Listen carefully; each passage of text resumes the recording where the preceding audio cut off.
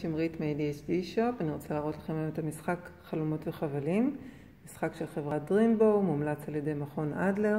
זה בעצם משחק סולמות וחבלים אה, עם ערך רגשי. אנחנו משחקים סולמות וחבלים, כמו שכולנו מכירים, עם חיילים וקובייה, זורקים את הקובייה והולכים צעדים לפי מה שיצא בקובייה.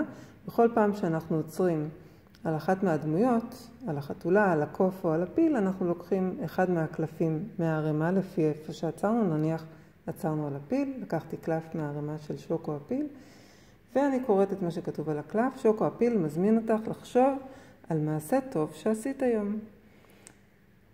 אז אני משתפת את המעשה הטוב שעשיתי היום, אם אני בוחרת לשתף כמובן, וכך ממשיכים עד שמנצחים, עד שמגיעים לחלומות מתגשמים.